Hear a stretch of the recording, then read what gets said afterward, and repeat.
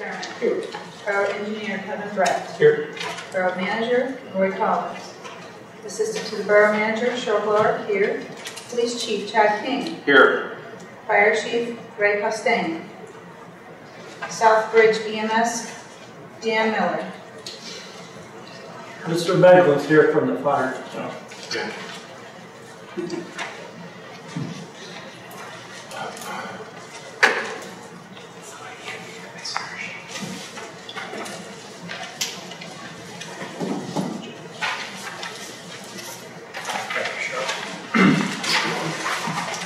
Uh, We will call our first visitor, uh, Mr. Tom Robinson.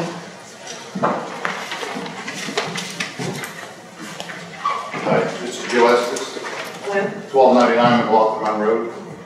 We're here to ask what's going on with the park. It's turned into a landfill. I don't understand for a year, a couple months, what's going on. So uh, a couple things, um, we are applying, we applied for permits to have the park be done, and we're waiting for the permits to be approved, and then we're gonna do the whole park at one time, because that, that area where the ballpark is, is being designated for flood mitigation. So we're kind of, we're- we started doing some cleanup, and we're just gonna do it all at one time. Um, We are aware that it has to be taken care of, uh, so matter of fact, I just got off the phone with somebody, we're trying to get some equipment in there to do the grinding, uh, stumps and everything. Put your hauling stuff in. Homes, I don't think so. Let me show you pictures, Recently? like last week. Yeah, nothing. We're, we're Rumor gonna has it we're dumping trash. please have it. I was not aware of that. Yeah, It's been going on for a couple of weeks. We'll It's check. turned into a landfill, what's happening. The last time I was here, we talked about uh, turning important open areas left in the community with parking, and I never got to respond to a couple of the questions you asked. Uh, What happens when you put a sizable parking lot in the middle of the community is what happened when we turned the, uh, that parking lot uh, next to Berg's between uh, James Street, Lake Street Extension into a parking area. To do that, we had to move, the county, as a favor to us, had to move two uh, doctor's offices and five homes.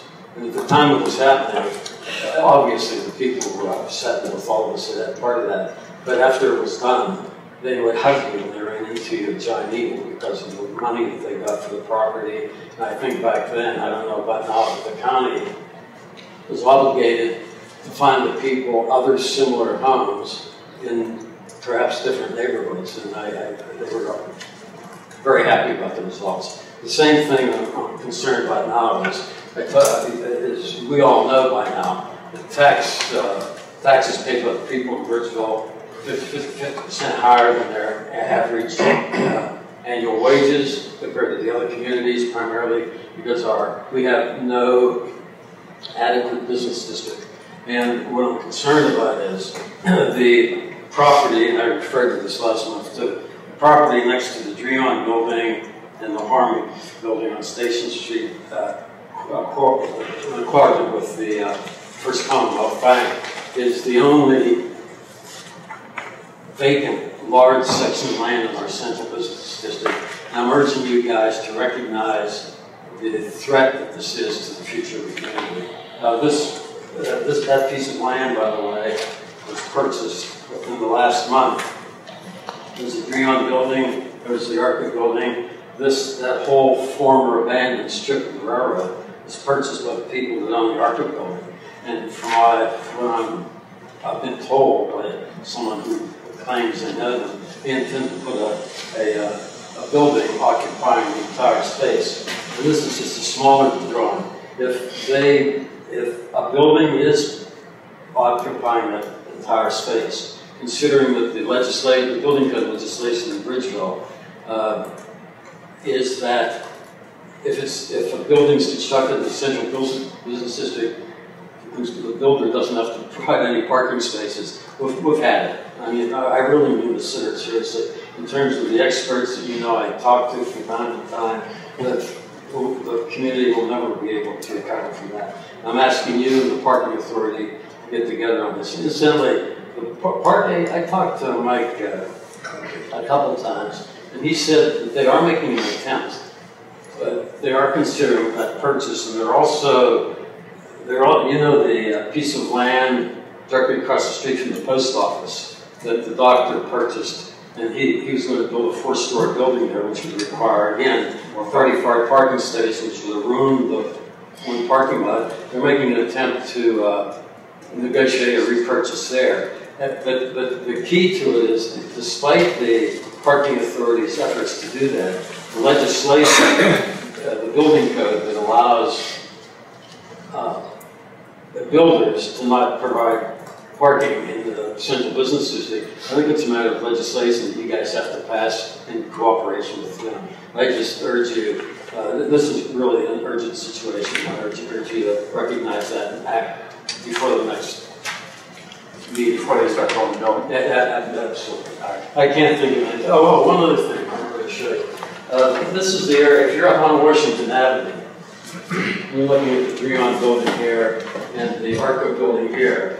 If you, if the borough or a parking authority can purchase that lot, it, it's, it's not impossible to trade another 24 parking lot above it, level, uh, across the street from the Strassnick's hardware store. These types of things, you would connect, uh, you you would create opportunities for a lot of new retail stores and offices to be built. What about if you had a building with uh, storefronts and then parking underneath? I'm sorry, I didn't hear you. What if you had a building, built a building and you put parking underneath? Oh, yeah. You explore that, that's, that's, that's a That's- good. You also get tax money from that building. Right. Yeah, any- anything that I pick up from the parking authority, which I'm sure they will do, to build. uh, Bob, real, real quick, I don't wanna, Yeah, sure, go ahead. are they, where did you hear they're planning on building the building?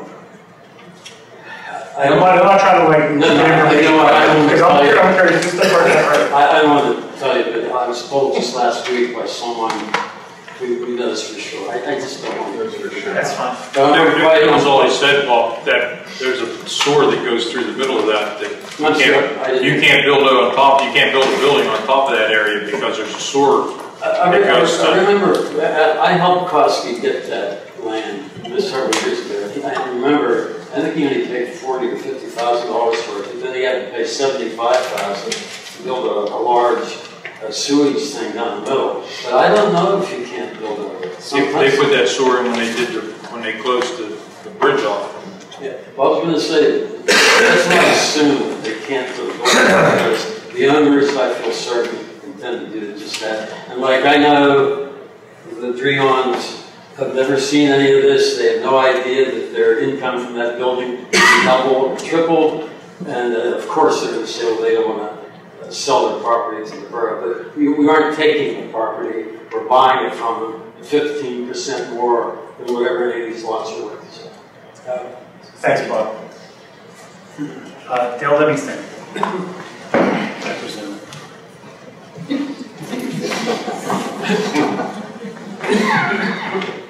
Good evening. I come to you, I come before you representing the uh, Bridgeville Greater Area Lions Club. We're having our third annual pasta dinner, which is Thursday, October 3rd, from 5 to 8 p.m. Um, It's going to be held at the Alpine uh, Club out in uh, South Fayette. Pasta, meatball, salad. I have tickets, if anybody's interested. Um, they're twelve dollars in advance, fourteen dollars at the door. And we'd love to see as many as you uh, supporting what we do. Um, in the past year, we provided two thousand dollars of flood relief to the fund. Um, we wrote, the Bridgeville Greater Area Lions Club wrote a ten thousand dollar grant for flood restoration, um, which was put to buildings, um, residential buildings on Blockton Run and Baldwin Street, so, plus service hours. Uh, the Bridgeville Greater Area Lions Club has done a lot of service projects in the area, so we appreciate little support. Thank you. Thanks, Dale. Thanks, Tom. And Pat, please.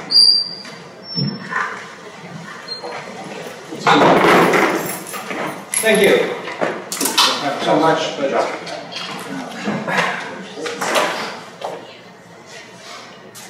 I'm going to invoke the name of William Calusi and ask the question of the borough, when was the last time that the Public Works Department clean McLaughlin Run? I mean, I know it was cleaned after the June twentieth, twenty eighteen flood. It was cleaned well at that point. Um, I don't know how much it needs to be cleaned right now, but I know that if, I know that Billy Calusi repeatedly brought it up, and it took many, many years for him to finally get the Public Works Department to clean out the creek. So I'm bringing it up because he has passed on. To just remind everyone that it needs done. I don't know, is it on any list?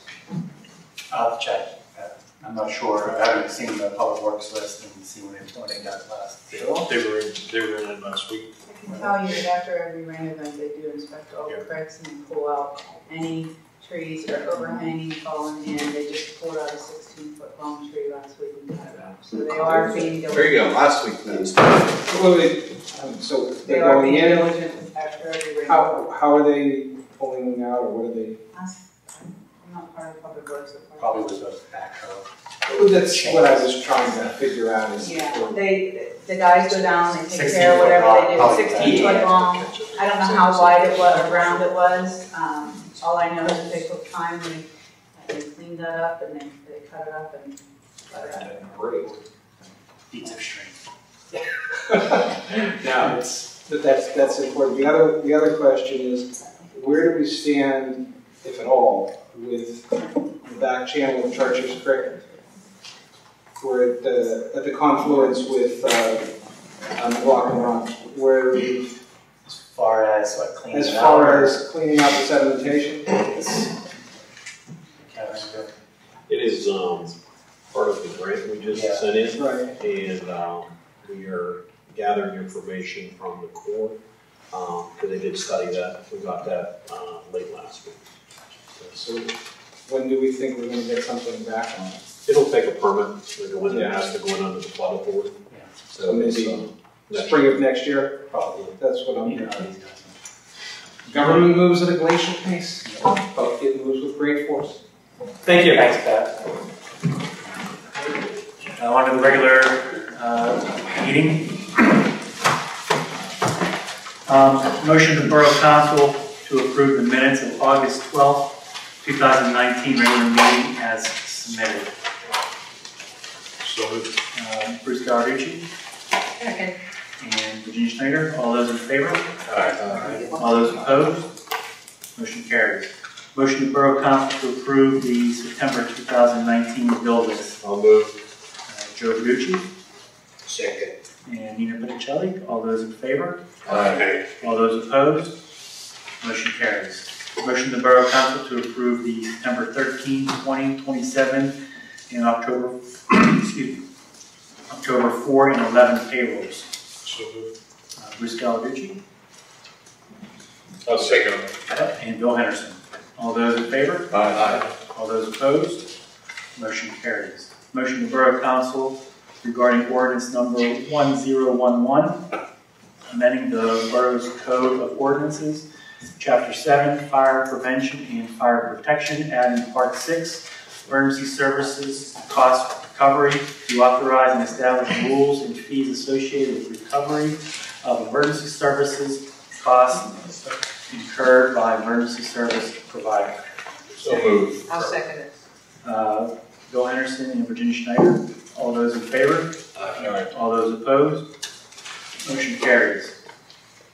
A motion to Borough Council regarding resolution number 2019-09, accepting the municipal winter traffic services agreement between the Borough of Bridgeville and PennDOT for the winter seasons of 2019 to 2020, 2020 to 2021, 2021 to 2022, 2022 to 2023, and 2023 to 2024. Uh, Agreement includes adjustments to offset severe winter storms equal to a percentage of the department's actual cost, similar for road services, over and above the five-year average. Uh, The agreement may terminate prior to September 15th for any year agreement is in effect. I'll move.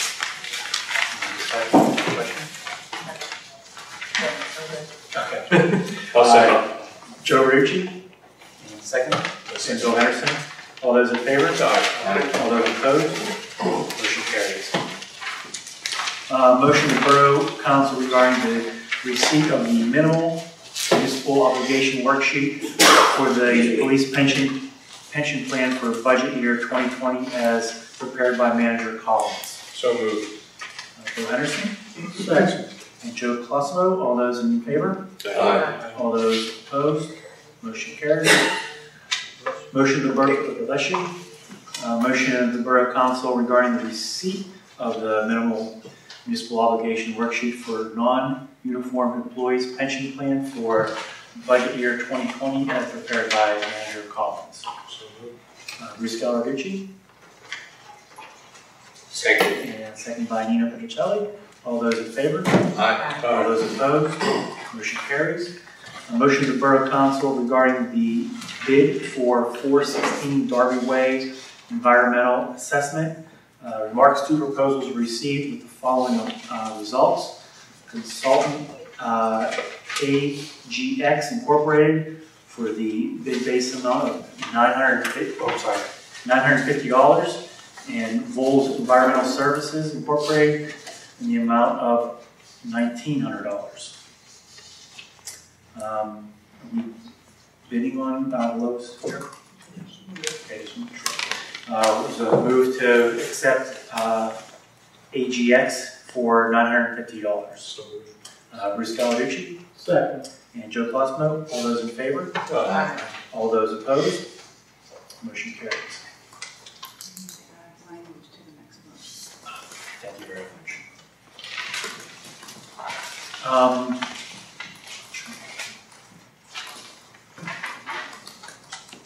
Okay, motion to Borough Council regarding the bid for McLaughlin Park ADA restroom renovations as bid by Char-West COG. Uh, If the borough chooses to award this project, it is imperative that your motion include the following language.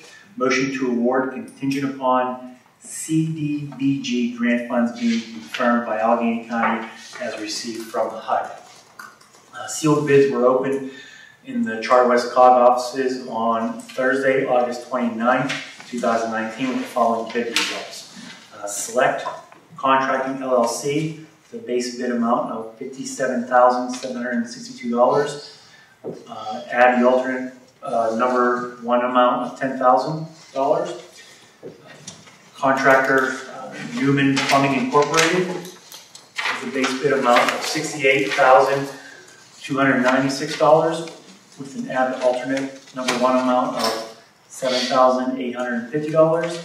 And JLD Construction LLC, base bid amount of $89,000 and an alternate number one amount of $13,900. Uh, CDBG year 45, 7.2 estimate grant funds for the project total of $34,000. The amount would be paid out of the general, the balance of the amount would be paid out of the general fund. Is there a discussion? Mr. Chairman, the, uh, go ahead, go ahead. Looking over like the bids, uh, a lot of the cost of your items were like painting, painting inside the building, and outside the building. And, uh, it seemed a little bit high. I was thinking our guys could do it, but I don't know if we're allowed to do that. I, somebody that I know, that I live with, told me that back in the day when they used to bid on stuff, they would put it out for bid one, two, or three times. And borough people were permitted to do it. I don't know if that's, that was a long time ago, but you ever hear anything like that? Uh, yeah, you can, uh, you can remove items. I don't know because it was bid through the call, then you could do a change order and deduct it, we have to ask. Uh, the call could, because it would be about six thousand dollars, What's that? would be about six thousand dollars of a deduct. So it's, it's over ten percent, um, of what the award would be. Um, the add alternate was, uh, some painting on the outside and the rafters on the, uh, ceiling, plus, uh, a little bit of the ceiling work as well. But there was painting of the interior because we were doing so much disturbance, uh, on the interior, so, um, uh, we got to check with them. Uh, We're not in the big, big hurry to do the work, but I don't wanna lose the grant either, so I mean, that's, Are we in danger of losing the grant? Um, well, it sounds like they, um, they would like to see you do the award, but they don't actually have the money, so they want, once you to put that contingency in the award, um, If the money doesn't show up through budget, then then they, they wouldn't let us do the contract anyway, so. Um, I mean, you could award it contingent on deducting items four and five, and then I can call her tomorrow and check. Uh, no problem with that. I'll make a motion. Okay, couldn't hurt. alright, uh, motion by Bruce and second by Virginia. On that contingency. All those in favor? Can I ask one question? Is, is there an issue with that if that would change the low bid? It, would not change the low bid. It's Fifty-seven, sixty-eight, ninety thousand. Yeah, it would not change the low bid. Okay.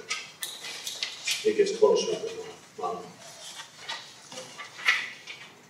Uh, motion on the floor. All those in favor? Uh, All those opposed?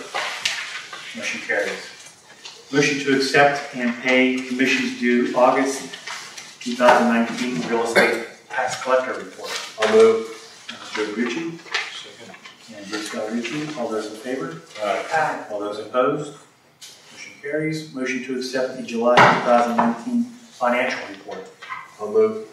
Uh, Joe Ritchie, Second. Nino, Petrocelli. All those in favor? Aye. All those opposed? Motion carries. And motion to accept the August 2019 police report. So move. Who's that, Bill? Bill. And, Second. and Bruce, Del Ritchie. All those in favor? Aye. All those opposed? Motion carries. Um, Yes. Haven't got three more. The three resolutions for the chief. Oh, I was gonna bring it up during the, um, your- your- You can prove that. Yeah, yeah, Yeah, yeah. I was gonna do it during the report. Gotcha. I didn't forget about you. Just want to make sure. Yeah. No. Um, committee reports, administration, I don't have any reports. uh, finance, Joe Ritchie. Nothing really to report other than uh, taxes are due and when is the discount? Discount was end of August, so now uh, you're at the stated rate. So please send in your tax as soon as possible so you don't get hit with any uh, of the late charges. That's all I have for today. Thanks. Uh, Parks and Rec, Joe, anything to do with discussed already? Well, aside from that, uh, not really, I guess picnic season's starting to wind down. Uh, The other parks are in pretty good shape as far as it goes. Uh, I got something from the COG, which- you guys got. Uh, This thing came up pretty quick. There was a grant available for some uh, sidewalk work, curb handicapping more than anything. And I believe our engineer, and I know Bill Bott would not, check these things out, and we submit, submitted an application for a grant for thirty-eight thousand bucks. And it's, okay, uh, accessible handicap, accessible ramps at Murray Avenue, Shady Avenue, Chest Street, Station Street. Two, creating an accessible route for handicapped pedestrians. The current ramps may be difficult or dangerous for handicapped pedestrians to traverse. So hopefully, we will pick up this stuff in it's free money, so. That's all I have. Great, thanks, Joe. Uh, Public Safety, Bill Henderson. Um, you skipped over Nino, I didn't know that, but that's it. Oh, I'm sorry, Nino. It's okay. Nino, You got my- I had my notes, on- my notes It's okay. ran into public works. You got my, uh, uh, you got everything in my text, but I noticed here, well, I, I don't notice, I know. The creek is being cleaned right after the, um, the, the rain we have. Clean all the debris, et cetera, et cetera. The maintenance was done. Also, it was, a main- uh, maintenance was done, we removed some trees out of the park that fell to the wind and everything. So some of the things we mentioned from the public and from Pat, so partial of that that's done already, Pat, but uh, I'll look at it tomorrow in more detail. This is something. Thanks, Dean. So, Paul. Um, Mike, we're continuing to work on some of the parking issues with the committee and the solicitor down on uh, St. Clair Street we've been talking about, exploring opportunities to help alleviate some of that um, uh, issue that we have. Um, one other thing I wanted to mention, I attended one of the, uh, the Bridgeville Preparedness Planning meetings with, with Dale Livingston and his group that he's assembled with um, places of worship and other um, groups within the community, and it was really, really interesting to attend. And, and uh, I wanted to thank Dale and, and, all those folks that are getting together to talk about being ready for that next event. And so they're very proactive, and um, there's a lot of good conversation about being ready for that next. You know, hopefully it never comes, right? But uh, the event that it does, I think we've got good people spearheading that group, and, and uh, I look forward to continuing to work with them. Last thing I want to do is um, thank the, the police and the fire department for showing up at the Chestnut Street Block Party. Um, always a good, you know, example of what they do for the community there, and, and uh, we appreciate you guys being there. Even though they didn't show up at the same time. yeah, police waited for the firemen got out of the way, and they, they talked about you left and right. We want to make them look bad. um, Mayor Betty Copeland. Welcome back. How was your trip to Martin? It was great celebrating my great granddaughter's first birthday. Uh, August was a busy, busy month. I attended the 125th celebration for Carnegie. Prior to going, I sent a letter of congratulations to the mayor. She met me in front of the Historical Society building on the day of the actual celebration, and we had a nice conversation. August 28th, attended the breakfast for Celebrate and Share. It's a group that recognizes the achievements of women while also celebrating the 99th anniversary this year of the 19th Amendment giving women the right to vote.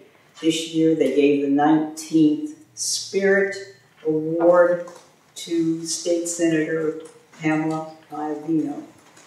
Also, I presented a proclamation to Boy Scout Troop 2 to John Self, who beautified the gardens at uh, Our Lady of Grace Church for his last Eagle Scout project. That's it. Thank you. Thank you, Madam Mayor. Uh, Police Chief. No report, Council President.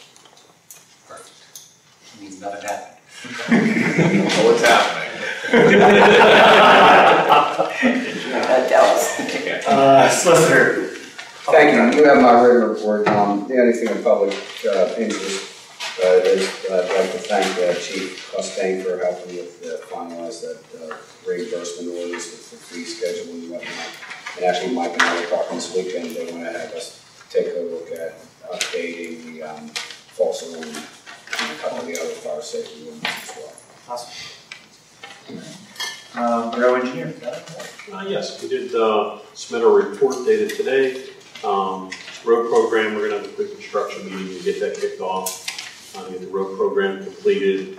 Um, the different uh, projects we submitted permits on, Janeway access point, blue those plans revised. Um, the changes to where you're going to drive straight in. Um, there's a log system. Um, it's basically a gate that's removable. Um, whenever um, it would keep the water in the stream, and after the flood event's done, uh, you would lift the machine, lift them out, set them on the side. They're not real heavy, um, but they lock together. Oh, cool. And then you take those out, you drive in, you clean out the stream, and you put it back in, so that during a flood event, those businesses are protected. Uh, we also, there's a couple inlets there. Um, we reconfigured that uh, on the plans uh, and put a backflow. Uh, basically, for the, the pipe, so when the stream comes up, water doesn't come up out of that catch basin. Um, water, if it builds up enough, it'll push back out into the stream. Um, but it's worse than two evils. We don't want water getting coming up out of that catch basin flooding that street. So um, we think that, that should be a big help. So that's ready to go in for a change permit. We're talking to DEP to see if it actually requires a change. If it does, we're going to submit that in. The commercial street wall project, um, we have talked to DEP um, about that because we're preparing a conceptual plan uh, for that. And they're going to consider that, we believe, to be a levee um, once it's built because it's going to increase the height along the stream. Um, uh, It does require a meeting with DEP to go over. So once we get a good concept plan prepared, we'll uh, set up a meeting, and they can borrow it with us, and we'll have that discussion with the department to uh, get that permit started. Um, uh, Maple Street Wall, it's been submitted, permits under review. Um, They did call for a few comments on that um, uh, because of the height of it. Um, They're getting concerned about that. Army Corps, like I indicated earlier, they did submit September 2nd, or the week of September 2nd, the disc. So we do have the appendix, appendix now, and we're reviewing that. Um, The commercial street uh, culverts, um, we did submit the uh, application for those to be cleaned. Um, so, um, 60, 90 days, we ought to have that, um, to clean out the. Because they are, the ones about third full, um, and you do the permit to clean that out. Um, next is the GEDF grant, uh, applications. Uh, there's three different packages, uh, we put these in. One was the Barville Road, uh, stormwater complaint. Uh, it was for ninety-eight thousand two hundred. Um, the minimum grant amount is five hundred when you read the requirements. But in all cases, we were asked by our communities, and they were requested, uh, by various people to submit less than five hundred. So this one is less than the five hundred minimum. I don't know how they're gonna react to that, but maybe that's, they're gonna react positively. Um, I don't know if that's the case or not. So we'll wait and see what they say on that one. Uh, the other ones we grouped into five hundred thousand dollar grant amounts. Uh, we called the one McLaughlin Run flood mitigation. Uh, that was the Janeway ramp, commercial street culvert cleaning, channel cleaning at the, um, at the end of the stream, um, down where it connects to the back channel, uh, lowering the ball field, um, and the trash rack. Um, Track rack, this is, and the report said trash, but, um, spell check. Uh, and then the other one was borrowed by retaining walls. She had three retaining walls. Um, so we put Maple Street, Werner, Werner Street, which we've applied for a grant elsewhere also, and then the, the wall we just talked about that required 105. Uh, all total is about 1.5 million uh, uh, in submittals. Um, about a million one in grants, so you'd have about $400,000 match. Um, if we could just get one uh, of those grants, that would be a great thing. So, um, and then depending on what uh, may get funded, the next cycle submit again. Um, so that process is ready. I do have those. The uh, next cycle's in April or? yeah, it comes basically um, once a year. Um, this cycle here was a little bit later, but mostly it's around April. I'm told that these are going to be awarded come November. Is, the timing? That's that's quick, um, but they have indicated that's going to be the case. Um, next is the um, CDBG. Um, the request went in for the five ramps as indicated earlier um, for thirty-five thousand. Uh, backflow preventer project. Um, we are preparing the contract documents and uh, bids open on the 26th for that. That's the second contract you've had on that. You already talked about the McLaughlin uh, restroom. We did look at that estimate. Uh, that's pretty close to what it should have come in at. We had it about 56,000 and it came in at 57. Um, we compared it to, uh, somebody indicated multiple bids. We had two or three other ones. We've had to bid two and three times. And each time we've tracked the, the pricing, taking things in and out. So we have, we have a pretty good track record now on these restroom projects.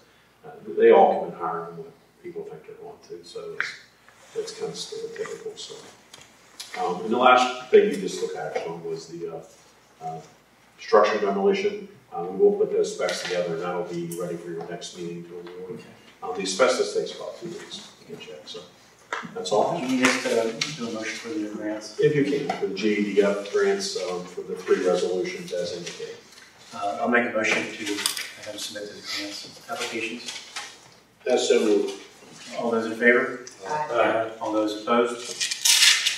Uh, Mr. Since Kevin uh, talked about streets, I want to ask him later, but that's what I'll ask you now. Something we could do with Bank Street, would you be able to get in touch with uh, PennDOT? I mean, Bank Street is bad. I mean, that's, I don't want to say I was a little boy when they did it, but they did it well, though.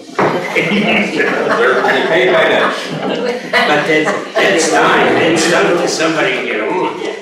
We can reach out there. Please, thank you.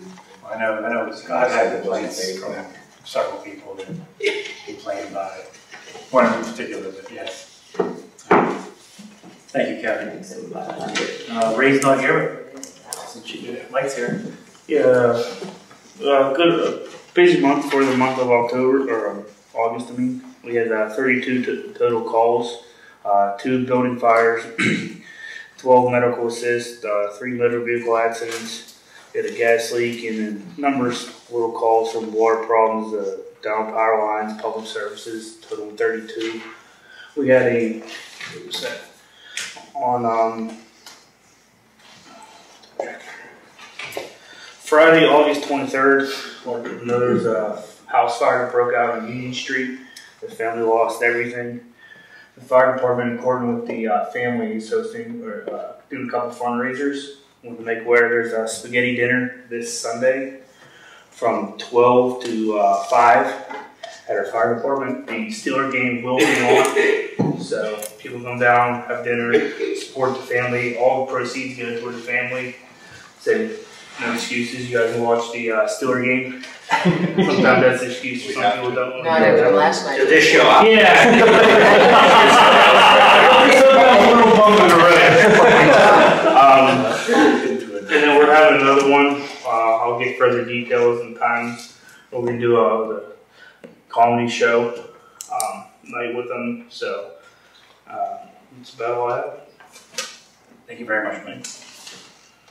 Uh, Dan's not here. Uh, Mary Weiss, Historical Society. I was going to try to be brief, but that's tough. Uh, thank you very much. I hope all of you remember 7 o'clock this Wednesday night is the quote anniversary unquote of September 11, 2001. It will be held at St. Um, you can tell I've been here a long time. Holy Child Church at 7 o'clock this Wednesday night. I hope to see many of you there. Uh, next item I have to talk about is that Saturday and Sunday, the 21st and 22nd of this month, our American Legion, Post 54, is celebrating 100 years of existence. 100 years since the end of World War I. Uh, it's an open house. I don't have the hours, but keep tabs on it. Hope you drop in. Then, the last Tuesday of this month, the Historic Society is back to professional uh, educational speakers. And this one is at 7.30, what is that, the 24th of this month, at the fire hall. And it is about presidential elections and the various ways that the president-elect used all the different methods to get his name, her name out in public and, and whatever. So that's the first one. Uh, we will have two more before the end of the year. The second one is two days before Halloween, and it is all about the house in Brentwood that is Ghost City, USA. Uh, that is pro another professional talk. I will not attend that one. I'm sorry. Anyway, the very last one is interesting. It's two days before Thanksgiving. And the speaker, I think her father was Mike Abrams. And if so, this is his daughter, Georgine, who has written a book about Pete Calabro and then the two Syrian relatives of hers that were all captured in Germany under the Nazis, and they ended up in the same place, all three of them. So she has written a book. Working for the government, she had access to other that we would not have. So her speech, the Tuesday before Thanksgiving, I urge you all to attend. Um, then, the first Saturday of October, the first Saturday of November, and the first Saturday of December, the Historic Society will be open from twelve till three. We're gonna try it, hopefully we'll pick it up again in February. Uh, it takes one retired school teacher and, and me, and we're gonna try it. Uh, You're all welcome to bring grandchildren and uh, come see what we have. Then, the last thing I want to mention is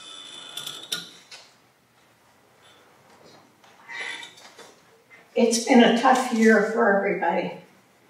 And I've lost some very good friends this year.